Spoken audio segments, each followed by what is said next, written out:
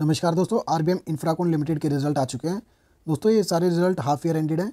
Present six month के result यहाँ पर है। एक अप्रैल से लेकर सितंबर तक के रिज़ल्ट यहाँ पर दिखेंगे आपको, और प्रीवियस सिक्स मंथ के यहाँ पर और प्रीवियस ईयर के सिक्स मंथ के रिज़ल्ट यहाँ पर। तो दोस्तों, ये सारी फिगर लैक्स में है। मैं आपको करोड्स में कन्वर्ट करके बता देता हूँ। फ़िलहाल कंपनी ने थर्टी नाइन करोड़ का इनकम जनरेट किया है, जो कि प्रीवियस सिक्स मंथ में देखें तो हम प्रीवियस सिक्स मंथ में सिक्सटी करोड़ थी। और प्रीवियस ईयर की बात करें तो ये सिर्फ़ तेईस करोड़ था तो तेईस करोड़ से thirty nine crore year on year तो बढ़िया परफॉर्मेंस है इनकम में। और अगर प्रीवियस सिक्स मंथ के हिसाब से देखें तो काफ़ी डाउन है इनकम और नीचे अगर हम एक्सपेंस देखें कंपनी के तो लास्ट टाइम कंपनी का एक्सपेंस है साढ़े बाईस करोड़। और वो एक्सपेंस बढ़ के अब छत्तीस करोड़ हो चुके हैं तो एक्सपेंस काफ़ी बढ़िया कंपनी के। पर प्रीवियस सिक्स मंथ के कंपेरिजन में काफ़ी डाउन भी एक्सपेंस प्रीवियस सिक्स मंथ में फिफ्टी सेवन करोड़ के आसपास थे। और नीचे अगर हम नेट प्रॉफिट देखें दोस्तों तो नेट प्रॉफिट जो पहले कंपनी पैंसठ lakh sixty five lakh net profit generate करती थी, वो अब दो करोड़ पंद्रह लाख नेट प्रॉफिट जनरेट किया और प्रीवियस सिक्स मंथ में लगभग डेढ़ करोड़, एक करोड़ पचपन लाख नेट प्रॉफिट था। तो ईयर ऑन ईयर और प्रीवियस सिक्स मंथ के हिसाब से कंपनी की परफॉर्मेंस बहुत बढ़िया है। तो बहुत अच्छे रिज़ल्ट पेश किए कंपनी ने अभी।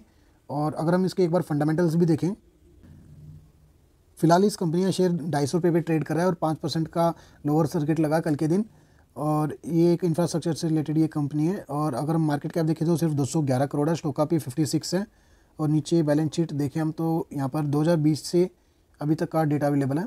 तो जो सेल्स पहले 35 करोड़ थी, फिर 38 करोड़ 47 करोड़ 83 करोड़ 98 करोड़। तो कंपनी ग्रो तो कर रही है दोस्तों और नीचे नेट प्रॉफिट देखें तो पहले लॉस में थी कंपनी बारह लाख का लॉस फिर लगभग सवा करोड़ का लॉस फिर दो करोड़ का प्रॉफिट फिर लगभग सवा दो करोड़ प्रॉफिट और फिर लगभग पौने चार करोड़ का प्रॉफिट तीन करोड़ इकहत्तर लाख।